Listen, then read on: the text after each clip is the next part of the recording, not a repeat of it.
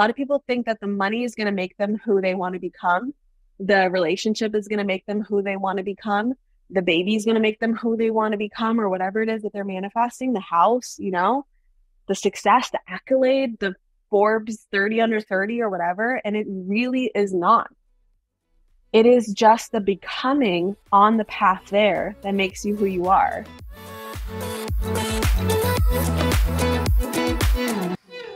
My question is about the subconscious rule that says it keeps you safe. The part where you associate your dream life with negativity spoke to me. I do feel like something bad could happen, or I feel super guilty for wanting that dream life. Most people from my family have had quite a tough life, but as much as I had my fair share of trauma, I still feel like I've had it better. There's always a guilt that comes up with that of feeling like, oh, but my trauma is not as bad as other people's trauma. And so you feel guilty around that and you feel like you're not deserving of healing or release because someone in your family had it worse or someone you know had it worse. And so that could be a trap that we get ourselves into that really evokes that guilt within us to keeps us trapped. Okay. I feel so much guilt for having it better or even thinking that my life is actually better and will only get better. Why can't I feel worthy or lucky that I'm deserving of happiness, to have it better, to have it all? A part of me feels like it's just about time things are going to go sideways for me just like the rest of them. But a huge part of me doesn't believe that. I feel like I deserve happiness and I can and will have it all. But I can't shake the feeling off. There's always some resistance to feeling good. Either I feel guilt or that I don't deserve it, or that it's just a matter of time before all the good gets bad. It's like I'm always living anxious, on edge when I'm actually in a wonderful place. I can't seem to enjoy the good because of negative thoughts. Why do I feel this way? How do I get through this? How you get through this, we're to get into. I want to speak more on why do I feel this way. So you feel this way because see when you see others struggle when you're growing up and especially when you experience trauma of your own, this can definitely make you feel unsafe when it comes to living your dream life. Because what ends up happening is after struggling for so long and experiencing trauma and so much struggle in your childhood, what most of us do is we create a program in our subconscious minds of normalization around this reality. And so we see this reality as being our normal. We see this reality as familiar. Even if it's technically unsafe, it is still familiar. And what is familiar to the subconscious mind is going to be seen as the safest option. And what is unfamiliar, which is you living a life released of this guilt, released of shame, healed, whatever, transformed, right? Released of all the beliefs that no longer serve you, feeling worthy and deserving and living your best life is unfamiliar. And anything that is unfamiliar can feel really scary and can feel really unsafe. And it's hard to feel worthy and deserving of happiness, especially if, if you've been taught and conditioned over many, many, many, many, many lives, including this life or many years, including this life, generational, right? This can be something that's passed on generationally, where your entire family is struggling with something and has been for a really long time. Maybe this is coming from a past life where life is a struggle, it's a belief, it's a condition, it's a it's a program where life is a struggle. And if you're not struggling, then you're doing something wrong. So it's that belief of life being a constant struggle. And you may feel guilty also when you're healing this because you feel like in the healing of this, you're gonna leave people behind. That somehow by you letting this go and you transforming and you healing this, that you're gonna leave other people behind in that place of struggle. And you now know that energetically, even at the very least, energetically, according to the law of transmutation, that this just simply isn't true. That by you releasing yourself of this, you letting this go, you cutting cords with this hardened belief, this program that life is a constant struggle, that you are actually healing not only yourself, but also your lineage and also past lives. We're going to talk about this in module six because there's beliefs that can come on the generational level, the past life level, and the core level, which core refers to this lifetime.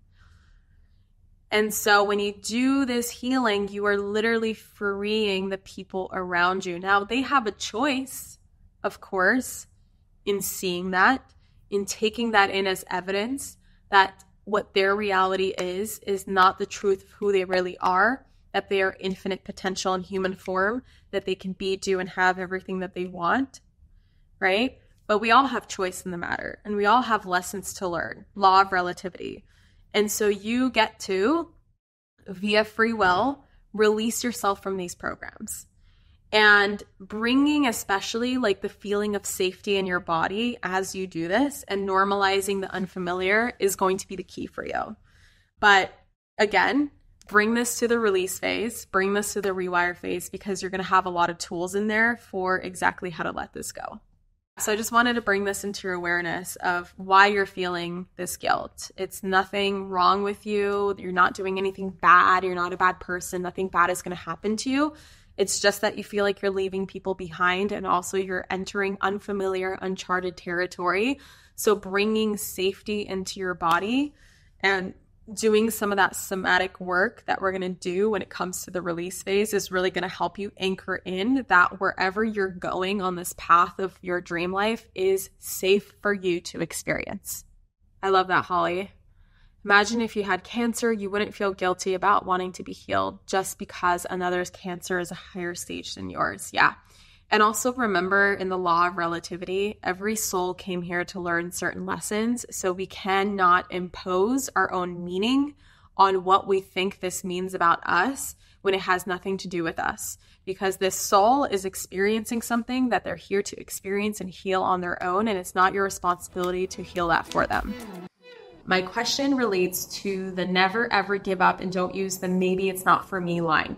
What if some path I'm pursuing is truly not meant for me and the universe is showing me rejection so that I recalibrate and reroute my inner GPS? So, at what point do I keep pressing on and when do I realize that this isn't where I'm supposed to be heading? Who here has a similar question? This one is very popular and I judge it just by like sometimes I'll scroll and I'll see some questions have a lot of likes on them and a lot of comments. Kind of like how I see like the voting system of who, which question is like dying to get answered. So this is one of them. And I'm curious how many of you guys are trying to figure this out? Like, at what point do you actually give up, right? At what point do you keep going when you're just like, when it's fucking hard and you're just, there's so much resistance coming up? Like, how do we know what the difference is? There's a huge difference between the what and the how here. So, what I'm referring to when I say never, ever, ever, ever, ever, ever, ever, ever, ever, ever give up is referring to the what. So, by what is, I mean your desire, right? Your desires, your true heart's desires are meant for you always and forever. So, if you have a desire of building a million dollar business and it's a true heart's desire and you're so excited about it, but the last six businesses of yours have not worked out, you might think that the desire itself is no longer meant for you. But that's just not the fucking truth. That's where people give up far too easily, is when it comes to the what.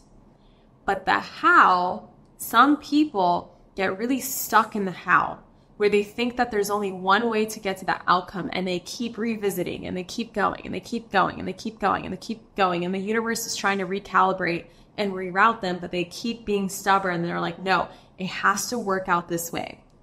Most people give up because they're confused by the how.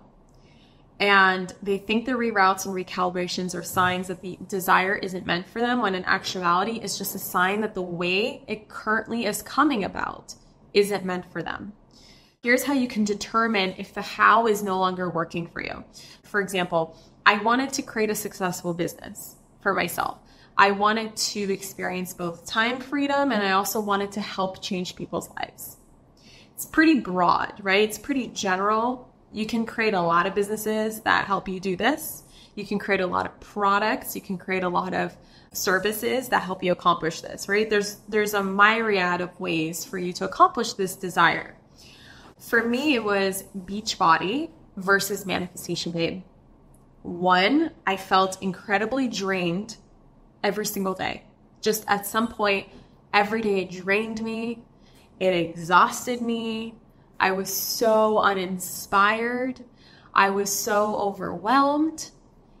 And if I wasn't careful about understanding the difference between the what and the how, I may have taken that example as a sign that business is not for me, that I am not meant to experience time freedom and being able to change people's lives because my Beachbody business wasn't thriving and wasn't successful.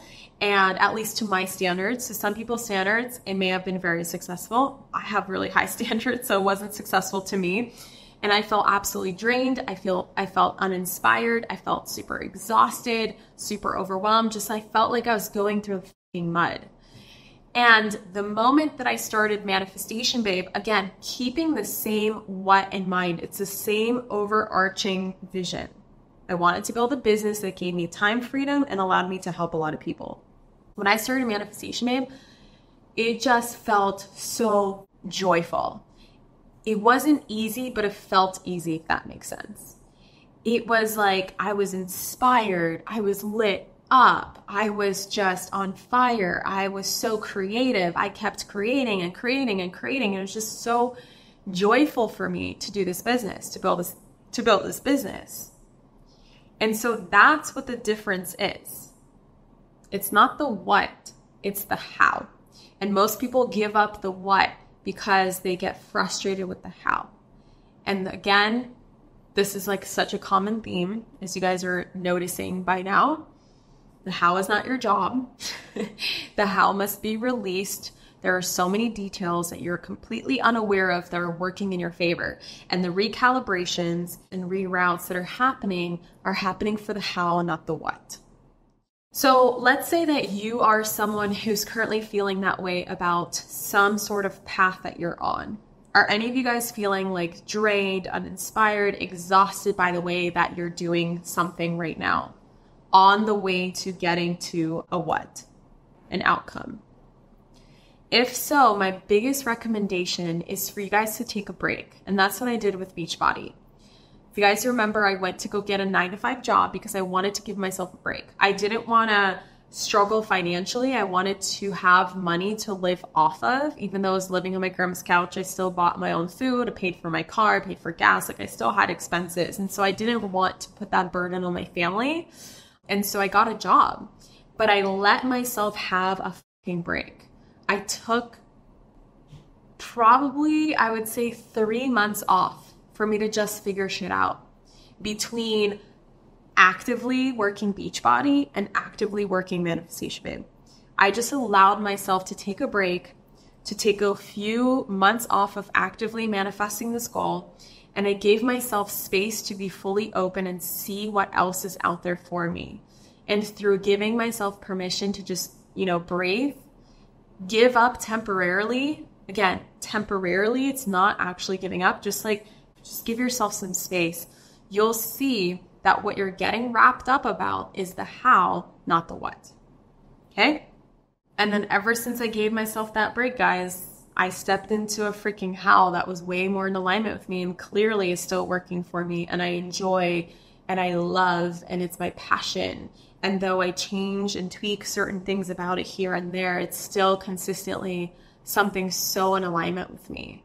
And that's because I gave myself space. If I still was like, no, Beachbody is the only way, right? I'd be fucking miserable by now. If you don't want a job, you don't have to have a job. I'm not telling you guys that the way that it happened to me is how it's supposed to happen to everybody. So I'm not saying the key is to get a nine to five job. No, no, no, no, no. That's just my path. That's what helped me give myself a break. For you, it might just be on a mental level. It might just be taking the pressure off mentally. For me, it had to be mentally, physically, emotionally, because I was just done with it. Like I just I just found another way for me to have a break.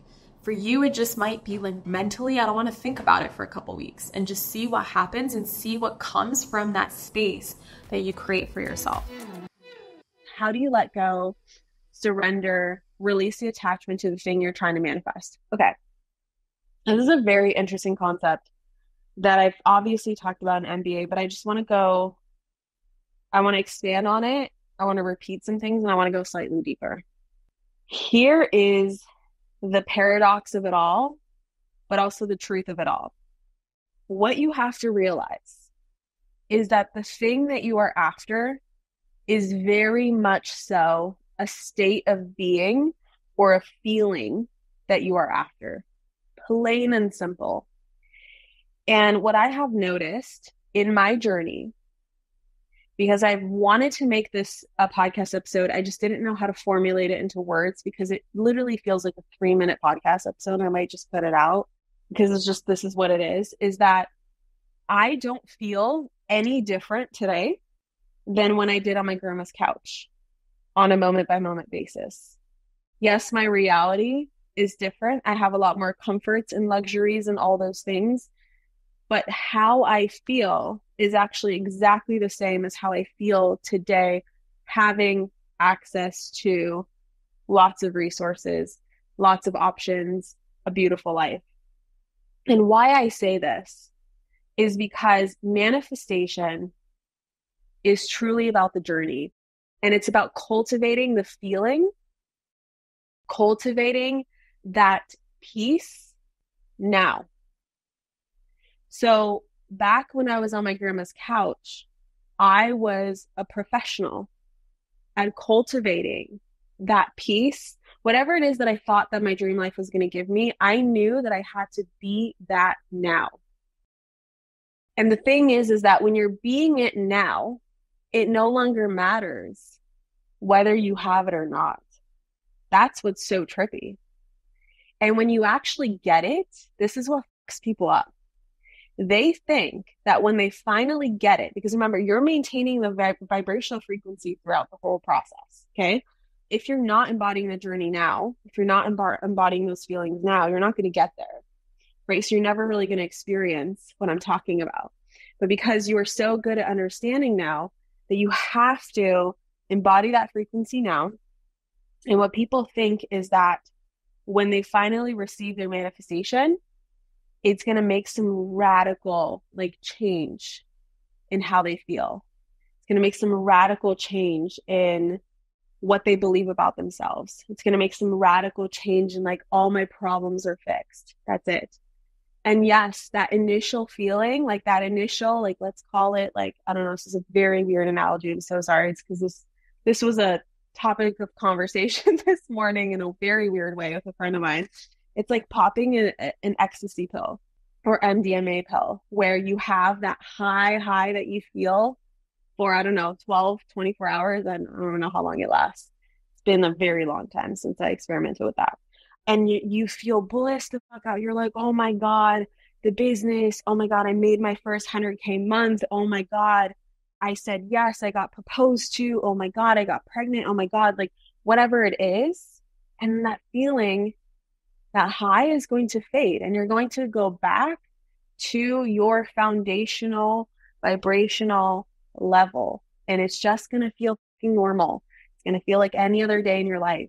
And a lot of people get by that because they're like, I thought that was going to fix everything. I thought I would feel that high forever. I thought that that thing meant I'm going to feel that way forever. And it doesn't. You just feel normal. You just feel like it's any other day in your life. Okay. So you have to understand that it's about cultivating the normalization of having it now. And so, how do you surrender? Is by understanding that it's an I want you, but I don't need you energy. that is a very potent energy to be in. It's understanding that you're already happy and it's a decision, let me tell you. It's a fucking decision. You're happy and at peace, whether you have it or not. And think about how hard that is to embody, which is why very few people. I'm teaching you in MBA how to get what you want. And also, I hope you've seen by now why so few people have what they want because it's not that simple. It's not that easy. It's easy and simple but your ego really battles all of these concepts all of these things, all of these concepts. It really battles them. And so MBA is about being consistent and about rising above and about letting go and about surrendering all of these energies that we think are so cute to put on Instagram and talk about on Instagram, but very few people are living it. And so I'm encouraging you to start living this because I'm telling you, this is the absolute truth. When you want something but you don't need it, it's in that energy that everything manifests. And how to help you with that energy is to get busy. Okay. If you're just sitting there and just moping around and wondering why you don't have what you want yet, you're not going to get it. But if you're like, okay, eventually I'm going to have it, I know because I'm a powerful creator, I intended on it. I work through the things, the blocks, the whatever that is holding me back. And now I'm just going to go have fun. I'm going to live my life. I'm going to go to my job or I'm going to work on my business. I'm going to put myself out there. I'm going to go on dates. I'm going to go out with my friends. I'm going to go work out. I'm going to go do this. I'm going to go do that and just live my normal life and stay busy with it because it's about the journey of who you are becoming rather than the thing making you who you are. A lot of people think that the money is going to make them who they want to become. The relationship is going to make them who they want to become. The baby is going to make them who they want to become or whatever it is that they're manifesting, the house, you know, the success, the accolade, the Forbes 30 under 30 or whatever. And it really is not. It is just the becoming on the path there that makes you who you are. Where that accolade in the end, that's so nice to have. I'm telling you, so nice to have. It's very sweet. It's very delicious. But like with any good dessert, at some point you're like, take this away from me. It's too much. I'm oversaturated. Right? Like, I don't need this anymore. Right? It's fine. Whatever. And another way I like to look at it is imagine you are flying to Paris and you're on a first class flight to Paris. And you get on the plane and you just know that eventually you're going to get to Paris. You have a pilot, a flight crew, a plane, you have everything provided for you to get to Paris that you don't have to think about. You don't have to think about the altitude, the speed, the direction that you're flying in as a passenger, you literally, that's not your job. But your job is to enjoy the flight there. Think about it, it's first class. So you got champagne, lie flat seats, you got jammies, right? You can read a good book, watch a good movie, the screen is bigger, right? There's a lot of luxuries that are offered in first class. And so you're enjoying it while you are getting there. And yes, absolutely. On the other hand, you can stress the whole way, wondering, is the pilot awake? Did he drink enough coffee? Oh my God, are we going the right direction? Oh my God, what if there's a storm? Oh my God, is this plane going to fall? Oh my God, there's turbulence. Oh my God, oh my God, oh my God. You can absolutely have a horrendous experience in the path there. Either way, you're going to Paris, right? Either way, the universe is taking you there. But are you enjoying it or are you making a miserable experience? Some people choose to make manifestation a miserable experience. Some people choose to enjoy the journey there. I'm telling you, you're going to be a lot happier when you enjoy the journey there because absolutely you can force manifest things. It happens. But actually keeping it and actually being happy and actually being fulfilled by what you're manifesting is through enjoying the journey there. This is the same with when you want a person romantically, they can feel when you need them. Mm-hmm. I had a moment where I energetically broke up with Brennan when we were together for about a year. And I just, in my mind, I said, you, I want you, I don't need you. And if someone better comes along, I'm fucking jumping on that. and I said that to myself. This is a decision I made to myself. He never knew this. But did he feel it? Oh, yes, he felt it he felt that energetic shift. He's like, oh my God, I am losing her. And a relationship got stronger after that. It's a whole nother story, but I'm telling you, that energy applied to everything in life is so powerful and potent. It's like if you want to grow your following on Instagram, if you are approaching or any social platform, if you're approaching it as like, I need more followers, I need more engagement, I need, right? More whatever views. People feel that and they don't want to follow you. So when you're like, I'm just going to live my life, I'm going to do my thing. Yeah, I want more followers, but I don't, I don't need them to enjoy my social media game. I'm going to post what I want my stories. I'm going to post what I want on my feed. I'm going to say what I want. Potent energy. Hi, Kathrin. I'm still stuck on the hierarchy of change. How do I change my identity? Is it simply just a decision? How do I embody this new identity? Once I change at the identity level and start to reprogram the beliefs, how do I avoid being overwhelmed by this process? There are so many things I want to manifest abundance, confidence, being seen, releasing weight, healing my relationship with my body, thriving business, etc. Loving MBA so far. Thank you. Yes, it is simply a decision.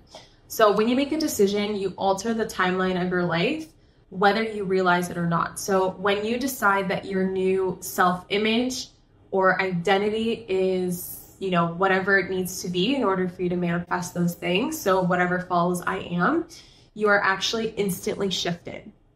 The only thing is, is that our nervous systems don't always instantly shift with the energy. So that's why we work on a mind, body, spirit level because there's the energetic shifts that happen just like this. Literally, the moment you think of something, it's already done. That's why we say it's already done. According to the universe, there is no time. Time is a human construct right? Time is for the mind. The mind is what creates time. And, you know, there's also the mental level and then there's the physical level. So, on the physical level in our bodies, we might not feel it to be true yet, which is why it can take repetition, it can take practice, it can take baby steps. Baby steps are really powerful. This is why I talk about how quantum leaps are not in the big, enormous action steps that you take, though those are valuable and yes, in some cases, you're going to be taking massive leaps. Like you're going to just go from like A to point Z and like zero to 100 real quick. And sometimes that's going to be the case. But most of the time, it's in the baby steps. It's literally like, for example, you know, the version of you who um, has already released the weight, if they go to bed at 9 p.m. and they eat you know, really healthy breakfast, whatever healthy means for you, whatever works for your body, you know, at 9 a.m. every single day. Then it's every single day just being like, okay, today my job is to go to bed at 9 p.m. So I'm going to go to bed at 9 p.m. Okay, today my job is to eat a very healthy breakfast because the version of me who already has XYZ or is XYZ they would eat a healthy breakfast today, so that's what I'm going to do. It's in those baby steps because eating that healthy breakfast every single day over 100 days, 200 days, 300 days, getting enough sleep, going to bed at 9 p.m., or whatever it is for you, every single day compounded over time is the quantum leap. Okay? Those tiny little action steps is what allows your nervous system to calibrate so that it doesn't get overwhelmed and freak out. I know I mentioned this on Instagram in a post, but before I got here to um, Africa, to Rwanda and to Kenya, I was upper limiting like crazy. My nervous system was so out of whack for the last month to the point where I started manifesting weird body things, things in my business, things in my relationship, things at home, just all kinds of weird stuff started to come up. And it's because sometimes you go a little too fast, right? And there's nothing wrong with that. You know, quantum leaps is something to celebrate. It's awesome. Um, obviously, my team and I quantum leaped in this last launch, which is so exciting. Um, it's a huge celebration for us, and I'm really, really proud of us. And I'm really grateful to each and every single one of you guys who helped us make it happen. And of course, now you guys get to benefit from it and get to benefit from this program. So lots of great stuff, but it's like my body wasn't ready for so much so fast. Like so many things manifested so quickly. So there is value in the baby steps. There's value in going slow. I think that for so many people, they put way too much emphasis on like I need the car tomorrow. I need the business to be at seven figures by 2 p.m. today. Or I need to get married by Monday. And I need to have a child by Tuesday. And I need to move into a mansion by Wednesday. And it's like, you know, we celebrate that when people, you know, have these crazy, you know, goals manifested so quickly. It's so celebrated. So we think that if we're not doing that, then we're doing something wrong. But you're not doing anything wrong if you're going slowly too. And there are some things that are manifesting for me this year that have been on my list since 10 years ago. And am I shaming myself for that? Absolutely not it's okay for something to be on your vision board for a decade, right? You're going to manifest this stuff when you're ready for it. So, that being said, identity is an instant thing that happens because it's so close to the soul level. And once you make that decision, it's a matter of you approaching your life from the identity level. Because the moment you decide, I am successful, you are going to ask yourself every single day in the tiniest little things that you do the version of me who's already successful, what are they going to eat for lunch? What are they going to read today? Are they going to engage in this argument with a stranger on Instagram today? Are they going to read the comment section on TikTok, which can I just tell you, one of the most toxic comment sections right now is probably TikTok. It used to be YouTube. I know there's a lot on Facebook and Instagram, but holy shit, TikTok, people love to argue. There is great content on TikTok. I love TikTok for the creators and the actual content, but holy like I can ignore the comment section and be happy for the rest of my life because you can get so caught up in it and just argument, argument. It's like no matter what it is, Mother Teresa can go on TikTok and make like a TikTok about saving the planet you know, saving the world, and it's like someone's got to argue. So maybe you can ask yourself, with the version of me, you know, who's already successful when they get caught up in the TikTok comment section, right? So like little things like that. Um, and then you can ask yourself, like, what are they choosing to believe about their worth before they start their workday? Right? So you can approach it on those other levels, but you're coming from the identity level. You're coming from the version of me right? The be, do, have model. First, you be, I am. That version of you does certain things, and then you have certain things.